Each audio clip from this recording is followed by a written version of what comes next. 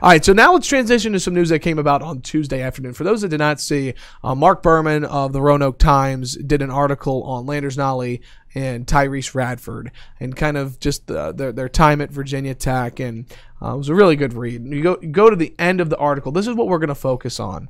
Uh, was that Landers Nolley's dad was quoted in this RoanokeTimes.com article. Malcolm, the best producer in the land, has already put that article up on our screen for those watching. It's at the end right there. Highlight that, Malcolm. There we go. Uh, so I'll read a, a couple of paragraphs um, leading into it.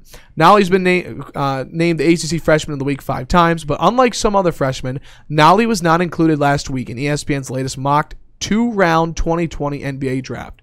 Quote, Landers is a pro. At the rate he's going, he won't be back next year. Close quote. That's from Landers Nolley's father. Chris, Mm-hmm.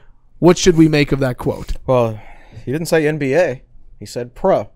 And these days you can make six figures or seven figures if you're really, really good playing professional basketball overseas. Um, it's not just the ESPN mock draft. Malcolm, it's, leave that up there for now. It's it's I, I I generally use NBA draft.net, I think is what I use because it's got like 70 or 80 mock drafts from all over the place and it averages them all together.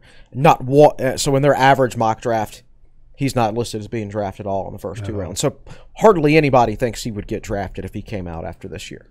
So let's let's read the next two paragraphs. Nolley said he won't think about the draft until after the season. Quote, if I thought about that, then I wouldn't be thinking about the season. How we're doing, proving people wrong, unquote, he said. He being Nolley. So good quote.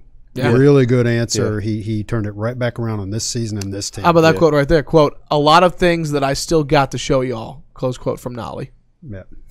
so he's saying the right things. Um, if he were to to, to uh, uh, leave Virginia Tech after this year, th- this would not be a real surprise. You know. Yeah, uh, I, I've, I, it's one of those like, like he shouldn't do it unless he thinks that going overseas for a year will will help better prepare him for the NBA than staying in college for a year. Um, or maybe, or you know, maybe even if and even if you don't make the NBA, you just go right back to Europe or wherever and make your five hundred grand or whatever. I mean, that's that's a pretty nice way to live, I think.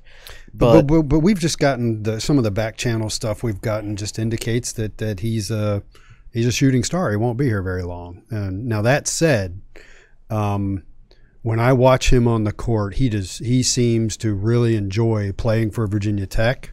Yeah, he plays hard and, and everything like that. And, and yeah. I I don't think he's a selfish player. Some people went after him after missing that last shot against. Uh, yeah, he just panicked and made a bad decision. Yeah, but but Yeah. I you know I I see him passing the ball. Um, you know, he, Yeah, he had seven assists that game. He has a lot of assists. He's a pretty good passer, um, I think. Uh, but I, but I think that he gets along gets along well with his teammates, and he seems to be enjoying himself on the court. I don't think that's it. Yeah. So Yeah. So, but but that being said, it would not shock me if he did not play basketball for Virginia Tech next year for whatever reason. And of course, we are seeing on a larger landscape too that a lot of players out of high school now are going overseas. I mean, you've got Lamelo Ball, who's projected to be the number one overall pick in the upcoming NBA draft, playing professionally in Australia right Yeah. now. You've had Emmanuel Mudiay play overseas and then get drafted. It- you know, and then it opens that whole can of worms about the one and done. and some of these and foreign te- some of these foreign teams are smart too. I think there was a New Zealand team that signed a guy who was like a top 10 prospect coming out of high school last year. They signed him to a 2-year contract. So if anybody in the in the NBA drafts him, that NBA team basically has to purchase the contract. Got to pay a buyout, for, right? for that New Zealand team. So that that New New Zealand team will get a check for like a million bucks, which is huge for them, Right. Yeah. From from the NBA team. So uh, so that's a good business decision for somebody like that. And you think about it, man. I'm 18 years old. Somebody in Australia, maybe not Australia, because I'm scared of all those poisonous animals and stuff they have. Not over me, there, man. but Australia's like, cool. Like some team in Italy or France, and we're like, man, we'll pay you 500 grand to come over and pay, play basketball for a year. Heck okay, yeah. instead of going to college and uh, they make you go to class for a semester to stay eligible for the NCAA tournament, but you have no intention of staying in college for four years. You know what? I'll just go to France. Yeah. that sounds better to me. Mm-hmm. Yeah, maybe I'll stay there too. I don't know. Interesting discussion. Again, that was an article on RoanokeTimes.com that Mark Berman uh, did on Tyrece Radford and uh, Landers Nolley.